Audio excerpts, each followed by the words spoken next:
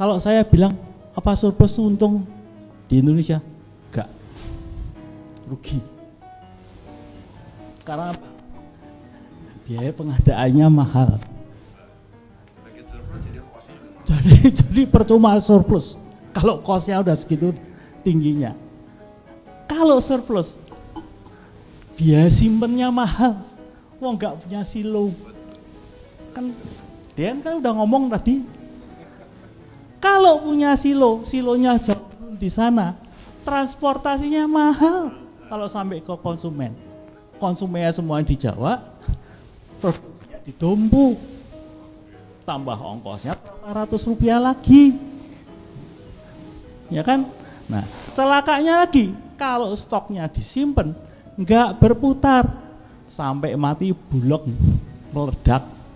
Kalau dia suruh ngimpor jagung, mau beli, dia sudah ngerasain, ya kan? Jagungnya busuk, katanya hanya boleh dijual kepada di Blitar, jebol dia. Jadi support rugi apa untung? Rugi. Kenapa happy? Kenapa mesti happy? Jadi kalau kita lihat pangsa pasar jagung sekarang ini, sekarang ini nih, PMT itu kira-kira nyerap sekitar 80 persen lah. Karena dulunya sekitar 70-an persen. Tapi sekarang seperti Pak Musbar dengan anggotanya itu, ngapain aku beli jagung? Beli makan jadi aja deh. Pusing beli jagung mah. Nah akibatnya apa?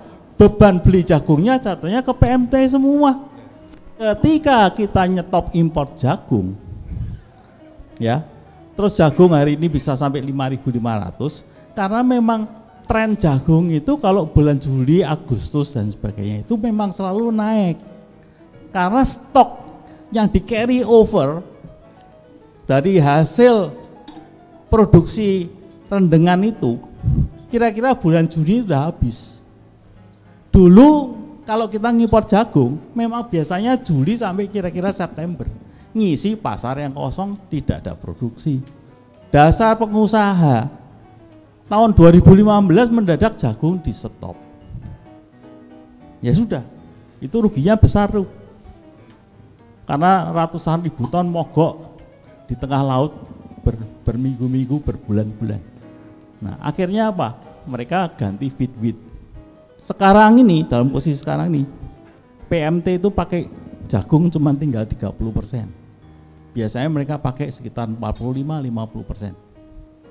Karena apa? Jagungnya udah lewat mahal. Jadi ganti Fitbit. Yang punya Ragunan ngomel. Fitbitnya stop supaya jagungnya diambil.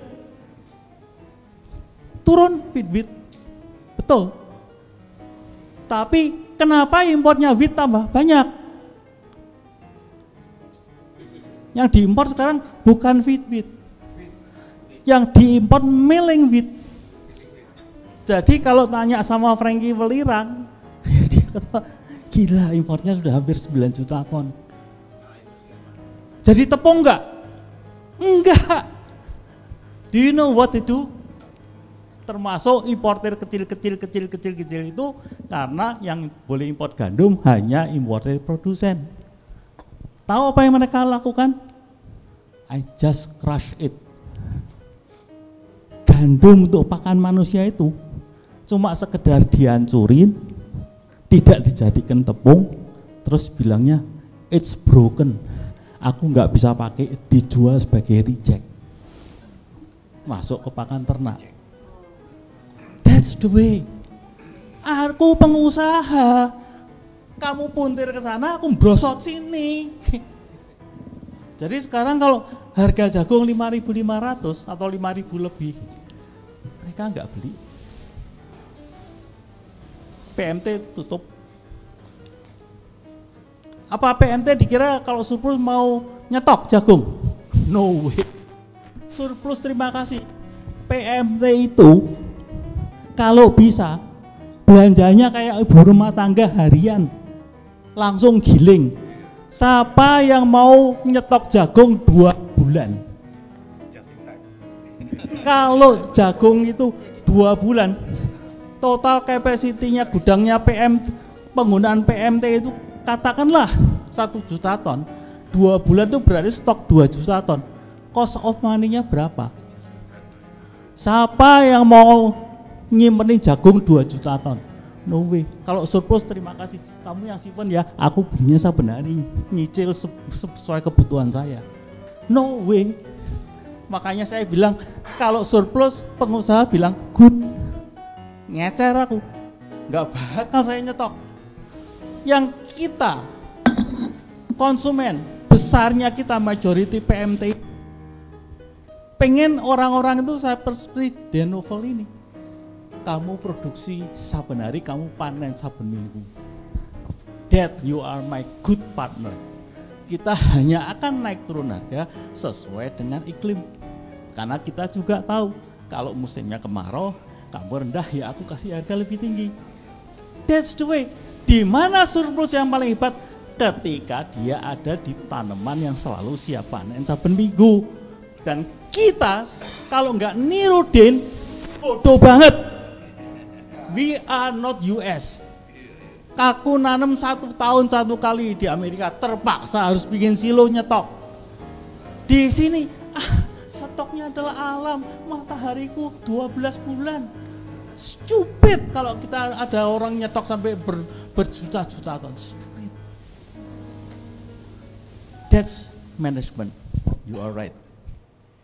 Berapa kita punya potensi kerugian? Kalau kita itu selisih harganya jagung itu dari tadi yang saya katakan 1.700 dari harga internasional kalau kita ngimpor dan sekarang kita harus beli di atas 5.000 17 triliun dan data USDA itu almost accurate kenapa? USDA itu punya orang day to day. Intel bukan sekedar itu. Intelnya itu ada 50 paling sedikit. Jadi dia tuh datanya lebih akurat dari data itu dan saya ngikutin dari tahun 2000 itu datanya memang memang selalu mendekati. Kan saya bandingkan dengan realitas dari laporannya PMT dia produksi berapa. Jadi kalau saya megang datanya USDA itu persis yang diceritakan sama si di novel tadi. Kalau produksimu 30 juta ton, tongkol basah, itu pun masih berlebihan. Kalau dapat 30 juta ton tongkol basah, dia bilang 60 persen jadi kering aja, ya kan? Itu baru 18, 20 juta ton. Eh itu udah bohong. Nah ini bohongnya udah kebangetan. Jadi sebetulnya surplus yang disebut 30 juta ton itu realitanya cuma 30 Jadi kesimpulan saya adalah inilah hoax besar yang dibuat oleh government lebih dari sarumpait. Ini pembohongan luar biasa dan itu dipelihara bertahun-tahun loh. Sampai BPS pun nggak berani ngomong kok. Dua tahun dia apa namanya nggak mau ngasih data. Puasa data puasa data. Moratorium kan kenapa? Karena mereka diseret ke dalam satu kebohongan terus menerus karena harus mempertahankan anggaran. Karena kalau ini dibuka itu membuka kotak Pandora